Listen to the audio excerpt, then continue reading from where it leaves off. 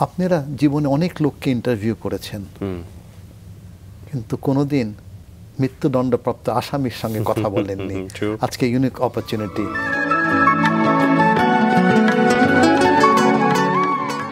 তো আমার প্রথম অপারেশনটা আমি একটু বলতে চাই। এটা কোন মাসের এটা সব অগাস্ট? মাসের পরে। অগাস্ট মাস আচ্ছা। এখানে প্রথম অপারেশন হচ্ছে সেক্টর কমান্ডার সিআর দত্ত বললেন মেজর সিআর দত্ত। একটা প্রচণ্ড আক্রমণ করো তাদের উপরে, যেন মুক্তিযোদ্ধাদের মনোবল আরও বৃদ্ধি হয়। তোমার প্রশিক্ষণ ব্যবহার করো আজকে। আমি দশজন মুক্তিযোদ্ধা নিয়ে যাচ্ছি, মনটা বড় খুশি, আমার প্রথম অপারেশন। এত প্রশিক্ষণ আজকে আমি ফিজিক্যালি ইমপ্লিমেন্ট করব। গ্রামের পাশ দিয়ে যাচ্ছি, গ্রামের মানুষ তো আমাদেরই ভাই বোন পরিকল্পনা পাকিস্তানের দুটো পজিশন আছে, রাতের অন্ধকের ভিতর দিয়ে ঢুকে যাব। নাইট নেভিগেশন কম্পাস দরকার নেই আমার। রাত তিনটার সময় পিছন দিয়ে আক্রমণ করে তাদের ক্ষয়ক্ষতি করে দেব।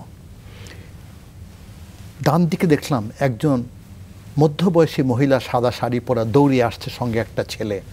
দূর থেকে বলছে, বাজান বাজান, থামো থামো। দাঁড়িয়ে গেলাম। আমার মার কোনো অসুবিধা আছে। তিনি হাঁপাচ্ছেন, ছেলেটা হাঁপাচ্ছে। মহিলা আমাকে বললেন, বাজান, তুমি মুক্তিযোদ্ধা অধিনায়ক মনে হয়? জি মা। আমি তোমাকে কিছু দিতে আসলাম। খুব খুশি হলো মনটা। গ্রামের মারা আমাদেরকে খাবার দিয়ে যেত যুদ্ধে যাওয়ার সময় আজকে খাবার পাবো। এরপরে খাওয়ার কতন পাবো। আমি বললাম যে দিবেন নিশ্চয়ই। বলে পোলাটাকে দিতে আসলাম। ওহো। ওকে তুমি মুক্তিযোদ্ধা বানাও সেজন্য দেশ স্বাধীন করতে পারে। আমি বললাম মা ওর বয়স তো পনেরো ষোলো বছর হবে। শুকনা ছেলে ও তো যুদ্ধে যেতে পারবে না। বাজান এই কথা বলো না। বড় সাহসী ছেলে রাতের বেলা গ্রামের রাস্তায় একা হেঁটে হেঁটে যায়। ভূতে ভয় পায় না। খুব জোরে দৌড়াতে পারে সাঁতার ভালো করতে পারে বড় মুক্তিযোদ্ধা হবে। বাজান আমার কথা শোনো। মা আপনার কে আছে?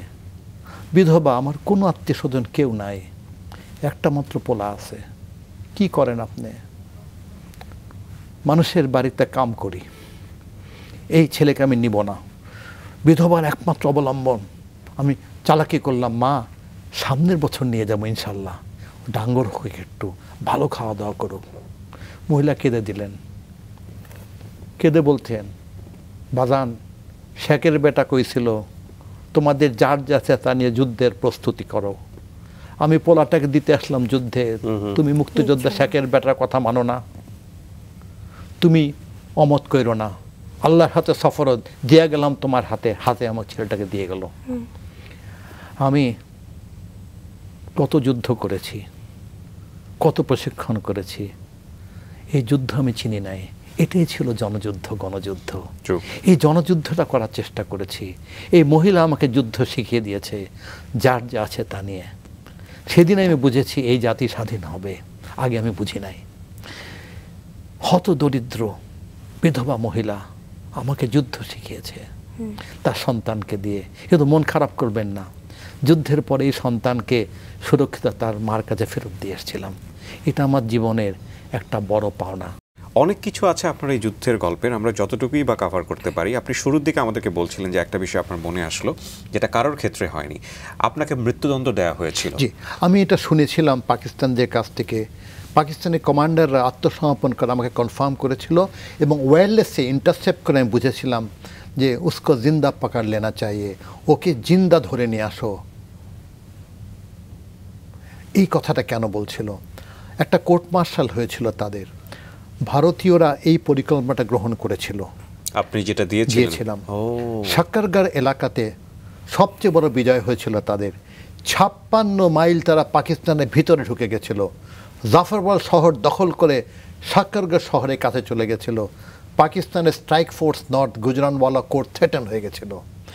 এই যে বিশাল একটা সমস্যা তখন তারা ইভ্যালুয়েট করেছিল যে কেমন করে এইটা হলো এত অ্যাকুরেসি প্রত্যেকটা অ্যামুনিশন ডাম এন্টি ট্যাঙ্ক মাইন্ডফিল্ড ব্রিচ হয়ে যাচ্ছে।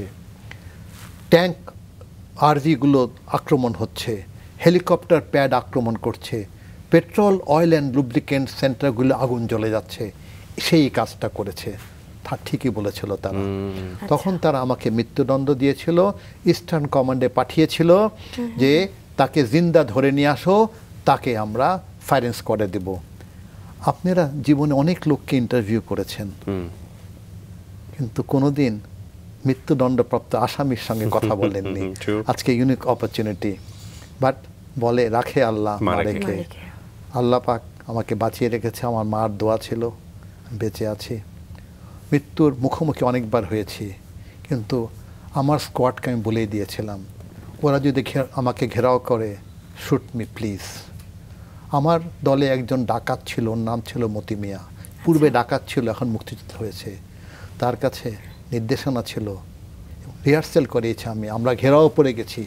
তোমাদের গ্রেফতার করছে তুমি কি করবে? স্যার আপনার মাথার ডান দিকে গুলি করে মেরে ফেলব। কেন মারবে? আপনি নির্দেশনা দিয়েছেন স্যার?